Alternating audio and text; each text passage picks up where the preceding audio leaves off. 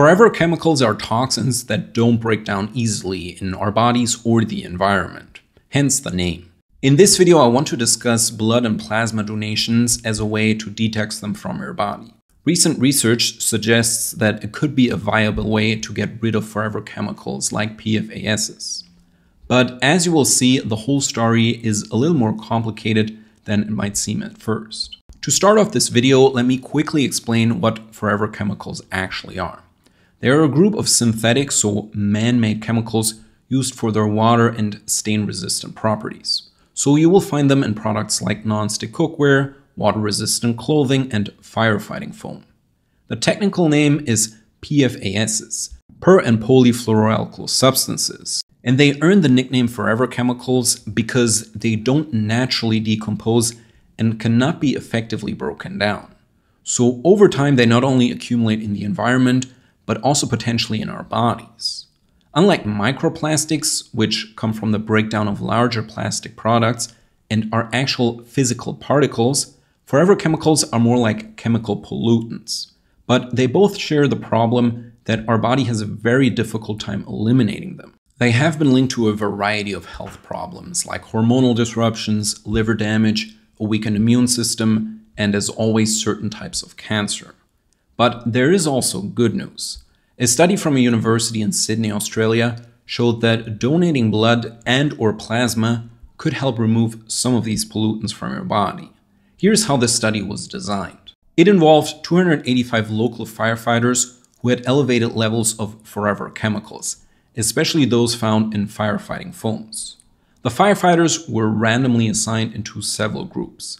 One that donated plasma every six weeks, one that donated whole blood every 12 weeks, or one with no donations, and all happened over a 12 month period.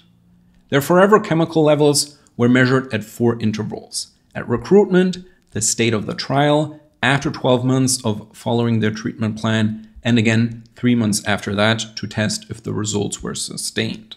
Basically, what was found was that both plasma and blood donations led to significantly lower levels of forever chemicals compared to the control group. This reduction lasted through the three month follow up, and plasma donations were most effective, resulting in a reduction of around 30% in average serum concentration. Now, why exactly did this work? It is probably due to the fact that many types of forever chemicals bind to certain proteins which are primarily found in your blood. Usually, environmental pollutants tend to bind to fats and accumulate in your fatty tissue, and not so much in the blood, which makes it very difficult to get them out of your body.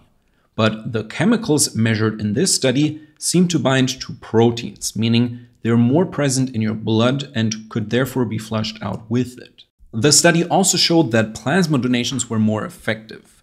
There are several reasons for this. One, the participants in the group donated every 6 weeks compared to every 12 weeks for the blood donation group.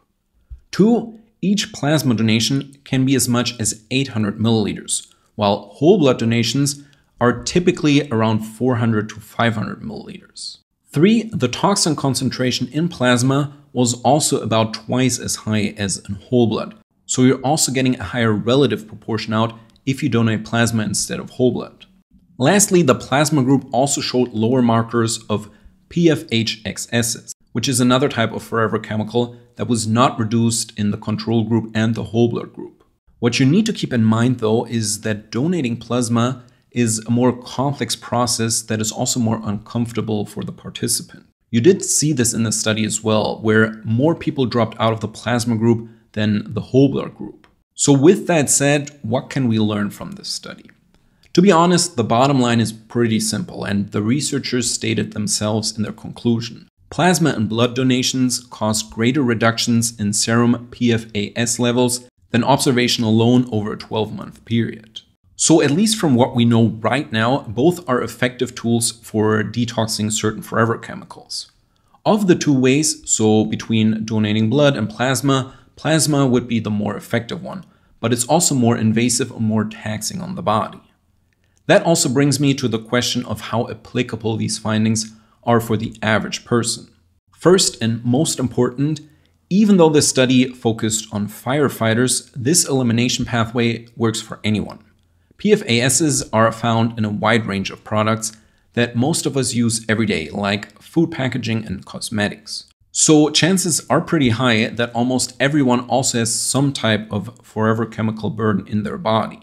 Donating blood or plasma is a pretty straightforward way to reduce your toxin load of these chemicals. But there are also drawbacks. When you donate blood, you're not just losing the bad stuff like toxins, but also good stuff like essential nutrients, vitamins, and minerals. So while it might help reduce forever chemicals, it could also leave you short on important stuff that your body needs. Nowadays, a lot of people are borderline deficient in many nutrients without knowing it.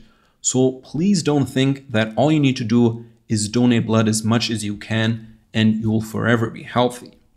For some people, it makes sense, like the firefighters that are constantly exposed to toxins that are primarily found in the blood. The average person, though, will have a different toxin profile because we aren't just surrounded by forever chemicals, but also toxic metals, xenoestrogens, and other problematic things that harm our health. And like I said before, most of these toxins are fat soluble and therefore accumulate in your fatty tissue, not in your blood. So in the worst case, you could theoretically be depleting your blood nutrient levels and still be overloaded with harmful substances in your tissue. To get rid of these tissue toxins, you need to improve your elimination pathways which means mostly better liver function and increasing detox cofactors. I talk about all of that in a different video. The bottom line is that you always have to balance the benefits with the risks, and you have to know your individual situation. Some people feel amazing after donating blood, while for others it completely knocks them out.